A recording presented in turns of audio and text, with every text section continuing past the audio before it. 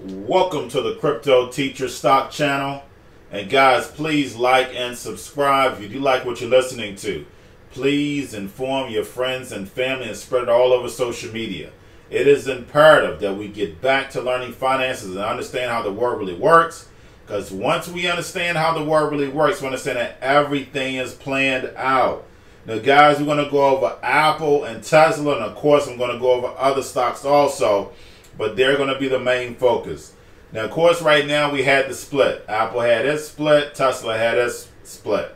Now, guys, we know this game is rigged. Apple always gets shorted at this time period, and then also going into the first quarter. Now, what do we know about the stock market right now? We are due for a correction. And then at the beginning of the year, either January, February, or March, we get another correction.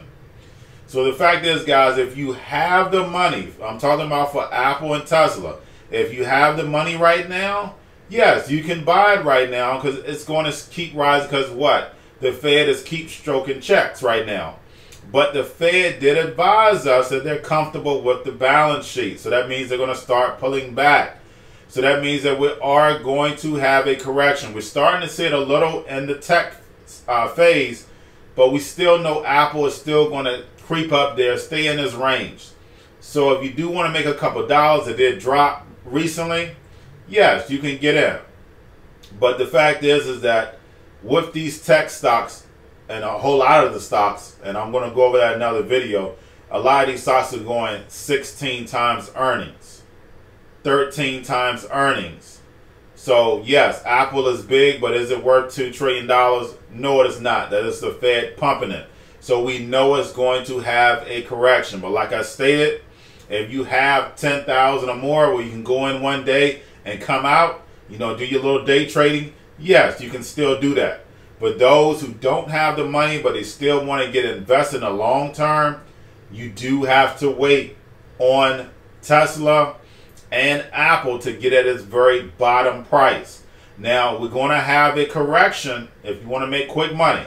We are going to have a correction October, November. We know the election is coming up. You want to put in your money after then when we have that correction, then definitely do that. Of course, I'm going to keep you up to date in more videos. But as we know, Tesla is a energy company, guys. Now, we know their goal is for the cars to make it autonomous of course, well, I'm going to get into Uber and Lyft in another video. This is going to be a very, very important video. But that's what all this is about. I was moving all over into digital, all over automation where humanity is taken out of the economy.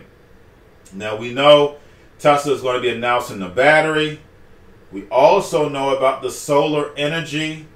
Of course, that'll be attached with the battery. If you know anything about solar energy, where you can actually store it. But that's very, very important. But let's get over into a few tech stocks that the Fed is not pumping. And guys, it's very, very important. The first one is Intel, guys, the chip maker. Now, the fact is we know Intel is a great company, great profits, but also they just advised yesterday they're going to be doing dividends.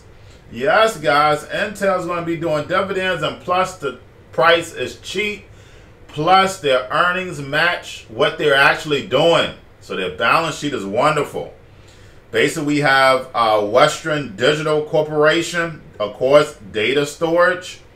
We also have Seagate Technology, of course, same thing, cloud, data cards, data storage, same thing. Both of those are cheap also. Now, to keep an eye on, well, as far as Tesla, another company besides Tesla, is uh, NIO, NIO, uh, the ticker, the electric company. Yes, it's going to have its ups and downs, guys. It's going to have a roller coaster.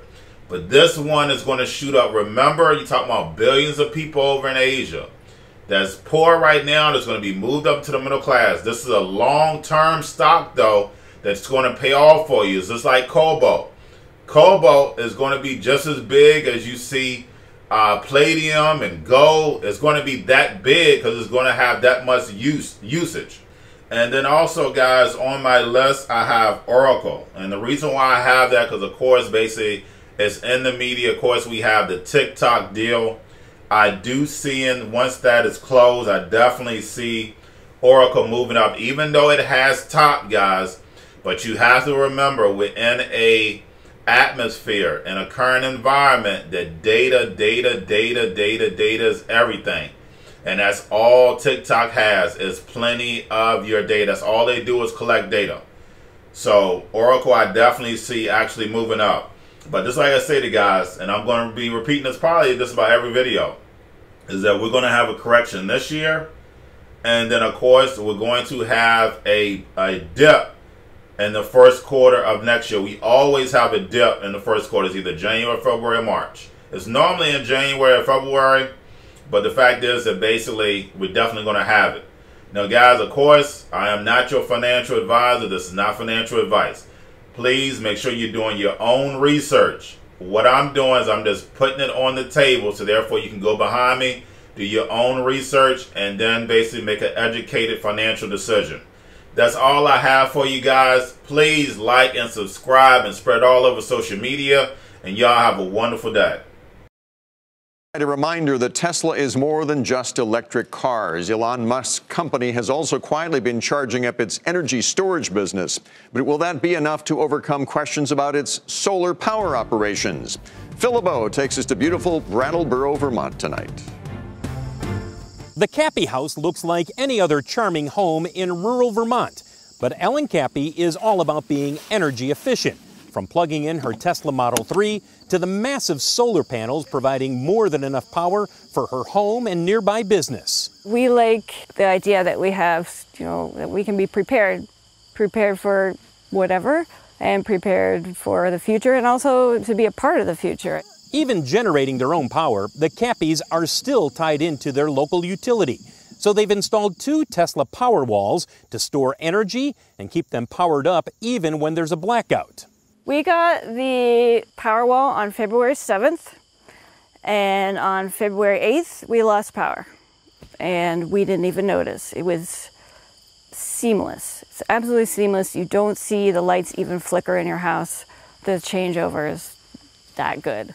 Tesla's energy storage business charged up this spring, jumping 81 percent Meanwhile, Vermont's largest utility is planning to expand Powerwall installations and offer energy storage units to all customers. It is a cost saving device for the grid. It's cost saving for the planet in terms of carbon, and it's cost saving for the grid because we use it during peak times. Despite some of the glowing reviews of the Tesla Powerwall, critics say there are only a limited number of people in the U.S. who truly need energy storage to deal with a blackout or a drop in electrical service. All other things being equal in your, your average rural area in, in the United States at this point, it's, it's pretty hard to make residential storage work. There, there have to be some special incentives and economics to make it make sense. But for the Cappies, Storing their energy has empowered them to feel like they can ride out the next blackout in the area. Phil LeBeau, Nightly Business Report, Brattleboro, Vermont.